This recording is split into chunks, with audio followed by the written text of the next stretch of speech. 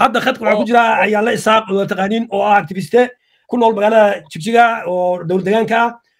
Ayaale waxaan kula kulmay magaalada jigjiga ayaan kula kulmay. Waa nin aad iyo aad u aragti dheer oo mar walbana u hadlaa xuquuqda dadka deegaanka soomaalida. Dhibaatooyinka kala soo kulmay xukuumaddii horeeto. Goobjoogna ka ahaa isbeddelkii markuu dhacay ayaan bal ka waraysanaynaa sida ugu arko afartii agoosto iyo wixii ka dhacay halkaa. Iyo maxaa isbedelay? Olka ku soo dhawaaya oo ku dhowahay salaamaya bahda simaan t v codka waxay kor u qaado codka waxay kor u qaado raalli ah waa waa waa waa ku mahadsan tahay. Hadda may maqashaan? Waa ku maqlaynaa haa haa wado. Aa si fiican baan ku maqla waa salaamaya bahda simaan t v iyo dhammaan iyo aqoonyahanka iyo saxafiyiinta iyo dhammaan shacabka nagu xiran na maqla hadda. Waa hore ugelaya barnaamij hore ma ugelaa barnaamijka afarta agoosto labada kun iyo sideed tobanka xaadir baan ahaa goobjoog baan ahaa waxaan magaalada jiljiya caasimadaan ku sugnaa wix meesha ka dhacay xaalka siduu ahaa iyo shan sana kabacdi bacdi xaal siduu yahay. Mataqaana waa mid aad ugu kala fog. Marka ugu horeysa kacdoonkii dhacay ee xukuumadda hore meesha kaga baxday mid eh, deegaankeena iyo shacabkeena iyo umaddeena loogu direen loogu direenayo may ahayn prime minister iyo siska markaas jiray. Haye. Meesha kaga saaray c m c iyo xukuumaddiisi bay ahayd. Laakiin maxaa qorsho u ah ummadan maxaa wadan u ah? Maxay soo mareen? Maxaa eh, eh, boogadhow ah? Maxaa magdhow ah? Mid la diyaariyey ama qorsho la diyaariyey mid saarraa ma jirin waxaa dhashay in xisbigii dumuqraadka shacabka soomaaliyeed markaa jiray meesha ka baxay ka baxa la baabiiyey haye la keenay oo la baabiiyey xisbigii dbina xisbi aan ka wada hadalay oo aqoonyahanka iyo guurtida iyo baarlamaanku markaa jiray oo si gabagaba ahaa iyo shacabka deegaanka soomaalida odeen oo madambu loo yahay nooma aha ma ahayn sax xaquuqna uqusaynin meherka gudub baana loogu keenay hogaaminteena qaar ka mid ah loo yeedhay soo loogu yeedhay gudubayna kulle fee annaga kamaana doodin amaaraa kilil iyo oromia iyo iyo yutuubka way ka doodeen bidi markii la soo diyaariyey dadoodaana way ka dhex arkeen laakiin annagu basaas kamaanaa doodin maxamed shaalle oo ah madaxa b p a maanta baasoo lagu yeedhay meesha hogaaminta ayla joogta markaas gudiga filipinta saamiga la dhaho baa arrin kiina rogay oo u horeyn lahaa safaya tiinkiisii sidii baa lagu lafay laakiin waxaa ama aqoonyahan ama shacab ama oday dhaqan ama ummad jiritaan soomaaliyeed la odidee joogta ka dootay ma jirto arrigiisa siyaasadda xilka dadweynaha wuxuu salka ku hayo arrimaha federalismka jiritaan wadda soomaaliyeed waxaasoo dhan ismaana doodin hal xisbi oo big big bi la dhaho oo iskuba taagan oo sabigiisa wasaarad loo yahay inuu yahay unbay xukuumaddu mataqaanaa u liqday ilaa maantana sidii buu yahay okay marka xukuumaddii horeeto waxaa lagu eedeynaya tacaddi badan oo ka geysteen degaanka oo xagga shacabka ah xukuumaddanna waxaa lagu eedeynaya iyagana musuq maasuq badan eex qabyaalad marka isbarbar dhig seed u arataa labadooda maxaa maxaa isbedelay xukuumadda hore waxaa lagu eedeeyey in mataqaanaay dadka dhibaateeyeen waxaa qabiil ah reer ahayn dhibaatadiis waxaa weeye waxaad moodaa ummad deegaanka soomaalida waa la wada deganaa xukuumaddana waa lagu wada jiray maanta markaa jiray si masiicadood baa ku jirtay markii sida isbedelku dhacay waxaad moodaa hal reer inuu taargetgaraystay waa lagu xalaashansaday ama biyahoodii ama naftoodii ama maalkoodii taana waa si ilaa iyo maanta taagan dulmiga shali jiray dulmiga sii fuulay Aha. cadaalad daradii iyo qabyaaladii iyo eexdii ay maanta boqolkiiba boqol marayso subxaan allah wax laga xumaado weyaan marka aniga aragtidayda ayaan ayaan la shaaq ahaan ma qabo isbeddel baa yimid anugu ma qabo. Inflation iyo isbeddel waa kala labo. Wax isbeddel ah waa ama cadaaladda waafaqay ama dadku ay ku nafiseen ama loo siman yahay. Anu anu ayaan la shaaq ahaan intaan deegaanka uga joogay last five year meel ma bixin maana arag waxaa arkaysaa dulmi aad iyo aad u fara badan. Dad dhulkoodii iyo hantidoodii iyo naftoodii reer ahaan lagu mataqaana lagu xalaasanayo for example shaksi eh, hadduu gobolka ama gudaar yahay Aha. ama goday yahay ama doole yahay waxaa la dhihi heegaa tahay. Hadduu shilin yahay ama faafan yahay ama liibaan yahay ama daawo yahay heeg ma ah shalay laakiin intaba hal sistem bay hayaan axmed axmed axmed inaan wax ka weydiiyaan rabaa wax inaan weydiiyaan rabaa. Maxamed aan ku weydiinaya waa su'aal haye.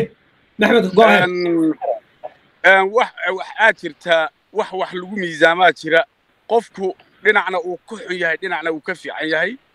Haddii qayb dhinacan maaragtay waxyaabaha faraha badan ee tacaddiga ah hadda aad sheegaysa ay dhankaa tahay wax ha yaraatee ha badnaatee mustafa dawladdiisu ay wanaajisay oo xukuumad ahaan ay u wanaajiyeen.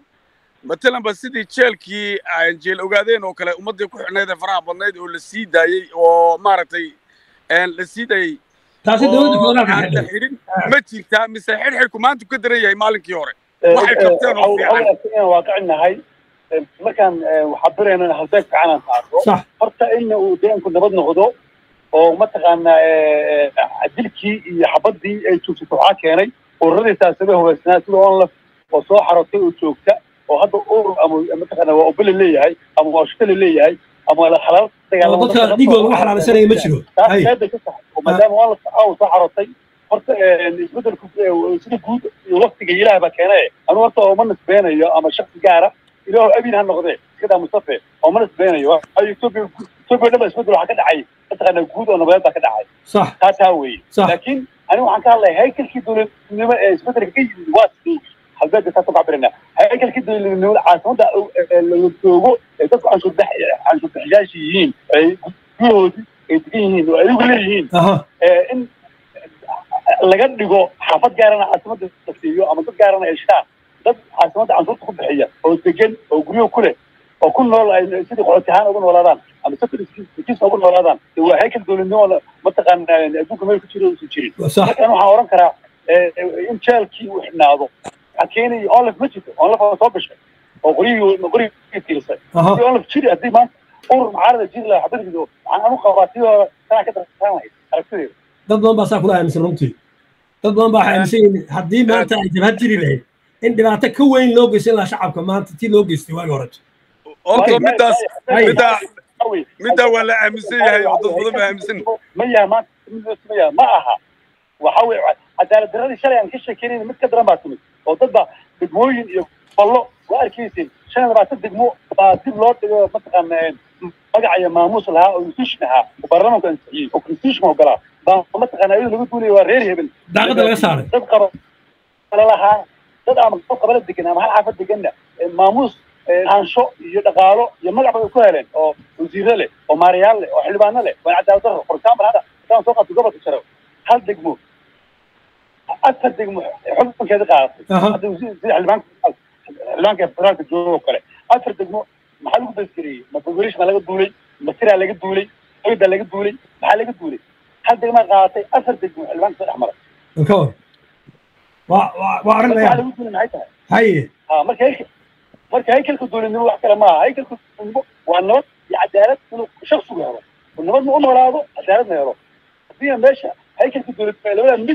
dee waxaa weeye lama odhan karo meesha system baa ka jira ama waxba isbedelay waa un arrimaha soomaaliya oo kaleeta nin walba axmedow wax fiican oy qabteen ee kada su'aasheedu maxamed okaadi meeshaa joogay dad badan marka innocent ah oo masaakiina baa magacii reer hebel baaba'aya soo ma xaqiiq waay axmedow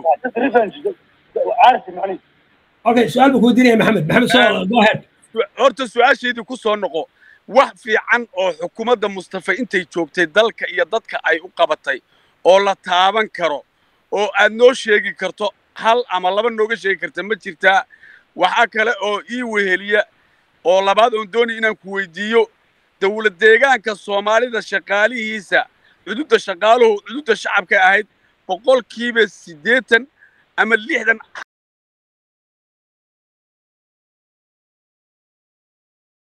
xabashi iyo qoomiyada kale ay ahaayeen. Maxaa iska beddelay? Miyay soo bateen? Mise daaqadaa laga saaray? Mise wayba intii way ka sii bateen oo soomaalidu maanta dowlad deegaankeedii dowlad deegaan xabashidu leedahay weeyaan. Taasaan ku weydiin ma looga faa'iidaysan karaa maanta maadaama maxaaridad ay ka jirto goondhar iyo goojaam in xukuumadda mustafe sistamka ay wax ka beddasho oo dowlad deegaanka ciddii deggan ee aqoon-yahan ah ay shaqaalaysiiso ummadda kale ee qoomiyadaha kale ka timidna ay tidhaahdo kililkiinni aada qolo waliba xeedhadeena wax loogu riday tan annagaa iska leh marka idinku orday oo gobo intaasaan doonayaa inaan ku weydiiyo waa mahadsan tahay waa laba su'aalood oo saaran xukuumaddii mustafa inta hadda jirtay shaqaalihii iyo cududii shaqaale iyo maamul deegaanka soomaalida iyo soomaalidu kaalintoodii ma taallaa ma soo bixiyeen ma la shaqaaleeyaa inteleg bay maanta joogeen soomaalida ku leeyihiin ha mid waa midda mid waa midda midda kale waxa weeye intuu joogay wax wanaaga oo ka sheegi karto ama dhihi karto shalay maanta dhaanta ma jirta ayaan la saaqaan waa run waa kaaga jawaabaya sax aan ku horumara mustafa iyo xukuumadda maanta jirta shalay wuxuu ku dhamaa ma jirta ha qofka waxa weeye waxa uu run uu qabtay lama xadiro waa la sheegaa waxa dhaliisha ah ee runtaana waa la sheegaa cidna looma fadhiiso taan sheegay aragtidii hore soo fadhiisanin waddanka xaalkiisa waan ka sheekeeyey oo waxaan yidhi dad baa lagu shaabadiyey heego innocent ah oo laga yaabaa shalay oo loo wasimo waa lagu heli jiray soomaali. Qabiil kasta reer kastaa ku jirtay laakiin reer gaanaad moodaa in heegaa tahay. Lagu uwaarsanayo sax iyadoo dala gaara laga leeyahay oba loo lahaa yes.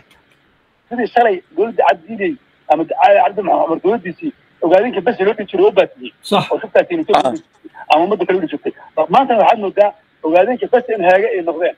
Oo goboladii kale aysan noqonin haddaan afka ku balaariyo. Bariban qabiil aan sheego ogol baan ka dhigayay laakiin taas taas saan marka horu sheego ma qariyo. Anigu waxa ay muuqda. Mustafe xukuumaddiisu waxay waxay ku maasan tahay oo wanaaga oo maanta odhan karaa way jirtaa dilkii iyo xabadii iyo meydkii isku sabriyay ma jirto. Sax. Nabadii haystaan si xoray u hadlaan aragtida dhigtaan aniga kula hadlay jijiyaan joogaa waxaan aaminsannahayna ma qariyo. Banaankaasaan la istaagaa ammaan baan helaa cid xidha iyo cid ugu mashquulsan ma arag sirdoon ugu mashquulsan gabadhiga maan arag mustafa taas waan ku ammaanaya. Laakiin barbardhig oma noqon karto heegdaasan yahay. Xorriyad baan helo ama ammaan baan helay weliba taasay tahay dowladda mustafa waxay sii kaga fiican tahay. Dadku way hadlaan way aragtooda caban waxba ma qariyaan lama xidho lama dilo ayaanle ayaanle ayaanle dad badan oo waxaa jira aragtidooda cabiray oo la xidhay jigjigo hadda waxaa laga furay baa la ii sheegay xabsiyo guri oo dad lagu hayo. Waxaa ka mid a dadka aragtidooda cabiray ee la xidhay muxuu ahaa mahad xasan oo ka cararay waddanka oo maraykan galay oo afar goor la xidhay waxaa kaloo la xidhay siraajo aadan oo isna saddex goor la xidhay waxaa kaloo isna la xidhay maxamed axmed. Marka waxaa kaloo la xidhay isna gafdiid. Marka way jirtaa in muxuu ahaa ruuxii toos iyaga u dura ay daba ordayaan oo xidhayaan. Marka ma waxaad leedahay hawlo kalaa lagu xidhay kooxdaas? Waa maasan tahay. Aan ku sheego. Si aanay la tahay waa runta intaas ashaakada waa la xidhay siyaaso waa la xidhay mahad waa la xidhay dhalinyaro kaloo fara badan baa la xidhay oo gudtog baan u aha markhaati baan kaaga ahay. Laakiin waaqaca ay waaqaca xeer ilaalin xukuumaddu ay nimankaa ku weerartay iyo taan ka hadlaya kalaba nimankaasu waxaa lagu weeraray micnihi waxa aad sheegteen caddayn uminaad haynin. Laakiin antaan ka hadlay waxaa waxa caddaynta loo haya dhabta ah. Aan ka sheekeynayo kale haykalkii dowladnimo xakamadii dadka la waarsanayo sida dhulka loo boobay mataqaana xuduudaha iyo guryaha dadka looga qaato sida mataqaana biilku uu cirka u marayo waxaas anu caddayn baan u hayaa. Laakiin nimankaa waxaa loogu reebtay waxaad ka sheekeynaysid caddayn umina haysanin ayadoo meeshu ay mataqaana weli etoobiya tahay oo weli aan ka sii ku noolahay taasaa nimankaasu lagu maagay. Laakiin waxa banaanka yaallaan ka hadli kara ee hadda aan caawa hadda markaasi haddii ay idan xataa iyagu fikirkooda cabireen oo ka hadleen musuq maasuq baa jira. Waynu ognahay musuq maasuq wuu jiraa sicir barar xun baa jira. Shaqaalayn eex iyo qabyaalad ayaa jirta. Hadday middaa ka hadleen ma in la yidhaahdaa kaalay ken proof inaan anigu shaqaaleeyey muxuu ahaa muxuu ahaa hogaanka nabadoon ilmaadeer nahay iyo taliyaha ciidanka ilmaadeer nahay inaan shaqeeyey inaan shaqaaleeyey proofkan markaan leeyahay muxuu ahaa eex iyo qabyaalad baad samaysay bruufkii wakaas. Laakiin soo lama dhihi kara markaasi usha la jiifiyaa banaan la joojiyana banaan. Iyagu kolba ruuxay rabaan bay eryanayaan oo xidhayaan ruuxay rabaanna muxuu ahaa ma dabagelayaan waayo hadda dad badan baa la ii sheegaya oo maarata shisho ku xidhan oo weliba jeelal waxaa jira layi guryo ah oo dadka habeenkii lagu xidho anigu ma soo arag laakiin waa informationkaan helay weeyaan axmed ha dhammaystiro su'aashii jawaabaheedii waa fid oo boqolkiiba boqol ma dhahayo oo ma aha mid waa run waa runta agree haye xabadii baan jirin agree with you waa runta middaa sax weeyaan axmedow qowmiyadaha kale ee shaqaalaha ku soo axmed dowladda mustafe maxaad ku ammaani kartaa buu yidhi. Waxaan ku Ha, ha. ammaani karaa maanta inaysan dil iyo toogasho aysan jirin iyo meyd la isku sawiro ilan waa waa waa mataqaanaa waa inaad waaqici tahay wax runta waa sax. Ma- ma- ma deegaanka horta nabadgelyo way ka jirtaa. Waayo anaa hadda ka imid oo joogay oo muddo ku sugnaa nabadgelyo way ka jirtaa. Wax ku qorshashaada ma jiro. Inkastoo muxuu ahaa ay dhibaatooyin iska jiraan. Laakiin muxuu ahaa eh, waa lagu ammaani karaa middaas oo waa la dhihi karaa jeelkii weynaa ee dadka lagu ciqaabi jiray waa la xidhay axmed. Jeelka xidhitaankiisu mustafe uma imaanin. Jeelkaasi xidhitaankiisu dowladda federaalka ayaa xidhay. Jeelkaas xiritaankiisa mustafa kuma imaanin. Ha. dowladda federaalka mandate wadatay iyo ajende wadatay buu ahaa. Waayo waa markii maxaabiistii siyaasadda u xidhnaa oo dhan la sii daayey adduunyadoo dhan ay cambaaraysay etoobiya xilligaas bay go'aan gaareen in la sii daayo. Abi axmed qorshihii uu markaa bilaabay ee hore ee maabkiisii horeeto ee ahaa etoobiya inay iscafiso hadduu ku socon lahaa wuu guulaysan lahaa. Laakiin wuu ka leexday. Markiiba Midda kale, dowladda wuu ka la weeraray tigree baa la weeraray waxaa la ka weeraray ee hadda xabashimo dagaal ka socdaa. Marka qorshihii hore ku bilaabay. su'aashii labaad ha ku axmed su'aashii labaad ha ku soo noqo soo noqo kaa dhexgal raalli hore su'aashii labaad aan aan axmed ugu noqdo taa taa aan ku darsaday annaga besta maaha jeelkana waa la xidhay oromiyaa la xidhay amaaraa baa la xidhay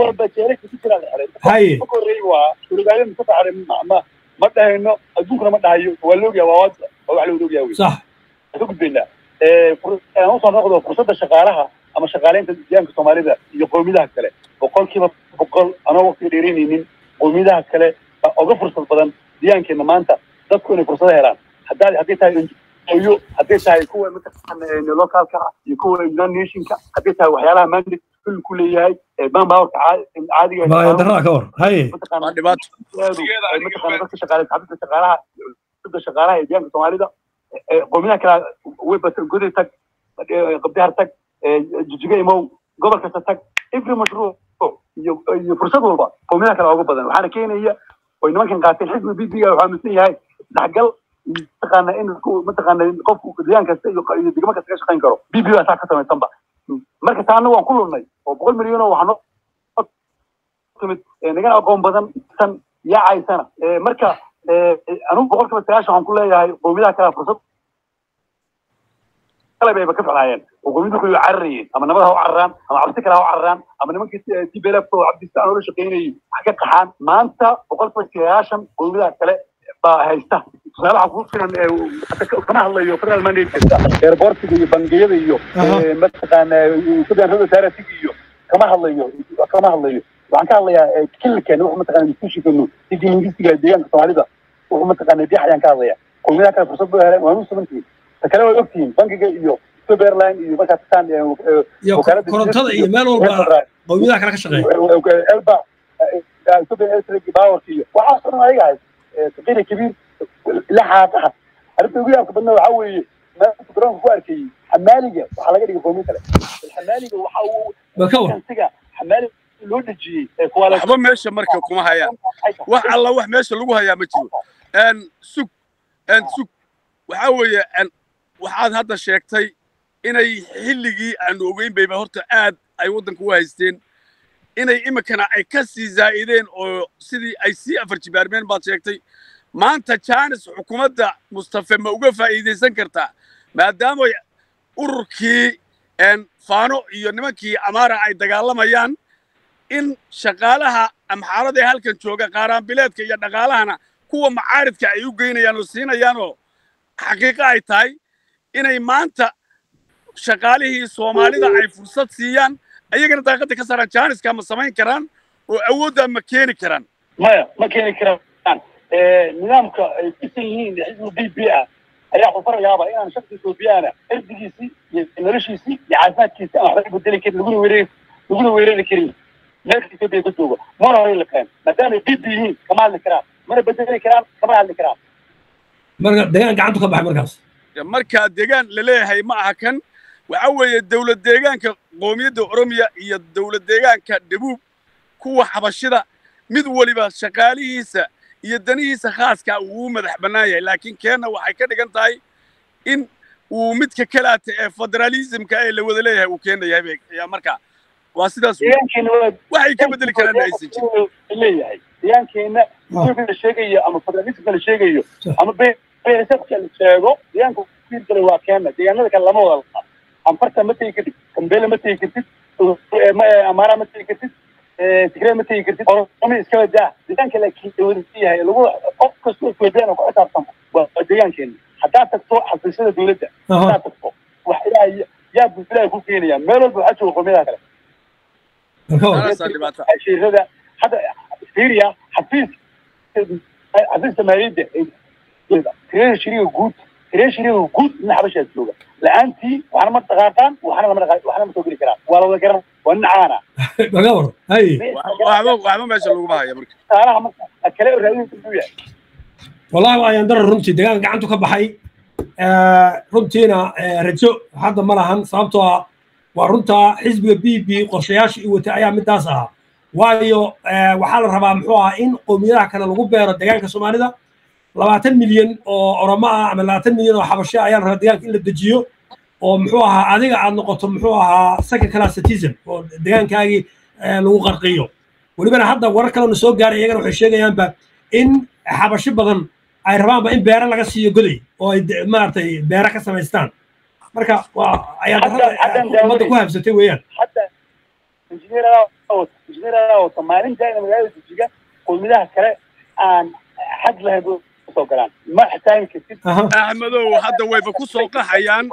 Waxaa weeye hadda waa qowmiyadaha kale inay maalka loo fatxay waxaana fasaxaya nidaamka b kamana hadli kartid hadaa shalay ka doodin kala ku biiraysay maanta hadli karta already. Uu dhaqan waa dhibaato inteeda leeg weeye marka su'aalaha waxaan doonayaa dadka kalena inaynu fursad siino. Waxa weeye qowmiyaddii dowlad deegaanka soomaalida qowmiyada kale ayaa baajeedkoodii iyo miisaaniyadoodii wax ku ah iyaguna waxba kama ahay ka dhigan tahay waxaa kaloo jirta xagga saxaafadda oo kale. Axmedow. Axmedow. Axmedow. Axmed. Ugu dambayn arrin cajiibaan ku xasuusinaya arrin cajiibaan ku xasuusinayaa. Ugu dambayn intaana ka bixin. Hadda waxaad ka hadashay qowmiyadda soomaalida qowmiyada kale oo ama ururo kale ama xisbiye kale mataqaana u shaqeeya oo jijiga jooga oo jijiga ka qaata ama mataqaana miisaaniyada ka qaata baa ma xasuusata dagaalka canfarta markuu socday in nin dhakhtar ah oo jijiga mushaar aan siino. Jijiga ka shaqeeya oo dhakhtar leh. Oo canshuurtii lacagii uu anfur direeyey oo uu yidhi waxaan ka amahay inaan macaawo ka maqanahay deegaankayga canfarta lacag uu ku shaqeeyo iyo mushaarka iyo wax kastana deegaankeena siiyo. Gobjoog baan u hayn wax tallaabo ka qaada ma jiro wax maxkamad geeya ma jiro wax constitutionka iyo digisiga sharciga deegaanku leeyahay waa fiftiye ma jiro waa u taagay canshuurta iyo lacagta uu uu qaato xaggaas u diraa xataa wuxuu diiday canshuurta inuu b b c xisbigan inuu siiyo. Xisbiga soomaalida halkan qaran uu sii diiday. Anfartuu direeyey mushaarkiisina xaggaas u direeyey bay shaqada ka eryaana tarxiibaan kama eryi karaan. Waxaa karaan. dhacday nin xabashi ah. Nin macalimiin xabashi oo jaamacadda dhigata jaamacadda jiyo wax ka dhiga oo macalimiina oo mushaarka anagu siino. Canshuur bixiyaal inay noqdaan la inay qaranbileedkiina marag u diraan inay dhahaan waan ka xunnahay in geesyadii etoobiya ee kaaramarada sheeganaysay ee maanta soomaali weyn sheegado ka waran kuwaas carruurteena carruurteena maxay mahayaan ya axmed shakadan soomaalinimo iyo d d s iyo somali state iyo rayo waa sheke khiyaali ah runta waxaa weeye deegaankan soomaalida rajo male waxaana sirdaradana haysan waxaa weye kasta hoggaan aan sabin xisaabtamaysin oona arabkiina hurduu sheegin oo dhiigkina aanu xilma rabo oo taariikhda ay qoraysa dadkigaan u taagay ayaan la helaynin maanaan weli helinba waa runta midda kaleete iyadana u baahan in maaragtay toosh lagu daaro ayaa waxay tahay ilaa inagu aynu dooranno hogaamiyaheenna oo muxuu ahaa ina matelaya weligeen muxuu ahaa uma madax banaanayno muxuu ahaa degaankeena inaan maamulno sida degaanada kaleeto oromo degaankeeda muxuu ahaa xabashadii xataa ku dhex nooleed boqolka sano way iska soo xaaqeen way ka soo tageen oromo iyaa degaankeeda maamusha deegaanka soomaalida ee dad waxaa jooga daneestayaal ah. Oo hogaaminta joogta rumasalena waxaan garanayna ma joogo aan dad udoorino dad waxa lagu soo xirtaa ma garanaysa dad waxaa arkaysa aqoon aan lahayn ee haddii aqoon xita lagu besgaran lahaa socda qorin dad waxaad arkaysaa mataqaana wax laga garanaynin oo waaqiciga iyo jiritaanka ummaddan aan aqoonin ama wasiirre ah. Ama ku-xigeenno ah ama maarayaal ah ama daba jooga oo ugu sarreeya fadhiya marka dadka noocaas marka shacabka dadka ay noocaas hogaamin yihiin rajada leeyahay waa garan kartaa. Nuxurka waxaa weeye deegaanka rajo ma laha. Wax rajaa uu deegaanka leeyahay hada sugi. Ninkastuba waa nin soo jeeda riyoonaya. Waa ka baxayaa dadkana ilaahay leeyihiin. Laakiin hal arrin aan fahanno inaan maskaxda ku xoroono oo waxa runta aanan qarinin. Bal mas'uuliyiinta iyo xukuumadda maanta jirta isha mariya ay hal qof xitaa dad wax ka gaari kara ama etoobiya la xisaabtami kara la xisaabtami kara ama xisbiga ay ka mid yihiin ama baarlamaanka ay ka mid yihiin ka dhexalli kara ma jiro waa arkaysa in xukuumadaha kale etoobiya xuquuqdooda ku doodaan baarlamaanka dhexdiisa ka doodaan diintooda lagu saamay waa la dhibaateeyey hal qof oo soomaali sida jooga hadlaa la waayo walaa sheekh walaa shariif walaa culumo walaa siyaasi walaa aqoonyahan walaa journalist walaa weriyi marka waa ummad dhintay waa ummad damiirku damiirku ka dhintay hadda waxaa jirtay gabadh xildhibaanada oo canfara. Soomaalida markii dagaalka canfarta socday meeshan garbaciisi iyo cundhufiya caddayto axmed muxuu ahaa aadan faarax oo fadhiya ayaa waxay tiri waxaa soo weeraray degaanka canfarta al-shabaab muxuu ahaa somaliland iyo ciidamada maleeshiyada ee muxuu ahaa degaanka soomaalida. Wax u jawaabay ma jiro naagtaas xildhibaanaha meesha saddex toddoba iyo labaatan baa fadhiday ruux u jawaabay male qaar xataa xildhibaan sheeganaya oo degaanka soomaalida ka socda arsaba jooga luqadda xabasha xataa kuma hadlaan baa layidhi soo marka kuma tari ummad idin waa dhib wey aad may ma soo koobi karo ma soo koobi karo xataa miisaaniyadda qudhigeeda fiir miisaaniyadda qudhigeeda maanta xukuumadda way tagtay. Ilaa konton milyan lixdan milyan lacag ka badan lix boqol oo lix boqol oo kun oo doolar adduun lacagooda ka badan mamrayn taariikh baa leelaadaa lagu leeyahay. Kuna baa lagu leeyahay deegaanka dadka ku jira ma quracdaan mana qadeeya war maxay tahay marka boqol milyan ama lix boqol oo milyan intii la qaato in maraykan lala aado? Maxaa laga duulay haddii dadka lala hadlay dadkii lala hadli lahaa ee wax loo qaban lahaa waa dadka degaanka ninka maraykanka jooga ee loo tegay laga rabo in fikir laga dhaadhiciyo. Muxuu soo kordhinayaa injineer maalinta waan baxay aniga aniga gobollada aaday. Haddaad tagto gobollada iyo degmooyinku dadku ma qadiyeen mana quracdaan gaaji ma garatay lix boqol oo milyan konton milyan oo bir oo lix boqol oo kun oo doolar u dhiganta. Ohio iyo washington ayaa la xawiishay oo hoteelada five star lagu degan yahay. Marka macnaha ay samaynayso macnaha ay samaynayso in lix boqol oo kun oo doolar intii lala baxo maraykanka lala tago. Ina ka habboonayn in birqod iyo dhagaxbuur iyo gunagada iyo iyo simiile iyo afeer iyo xarun iyo caafimaad loogu dhiso ama biyood loogu qodo. Ugu yaraan cunto ugu yaraan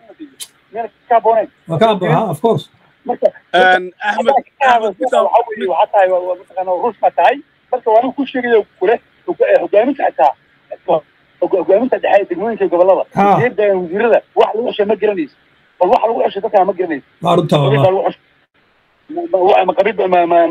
qaraabanimo ma ma doqonnimo ma wadani la'aan biniaadamka waxaa lagu ceshaa exactly waa runta ha waxaa weeye Nobody waa ka baxaya- knows. waa ka baxaya Ma- waa rajalaan rajalaan weyn laakiin ilaahay lagama lagama eh, rajo quusto insha allah eh, maamul wanaag baan heli doonaa isbeddel baa imaan doona aad ba umahadsan tahay ayaan le Audio Jungle.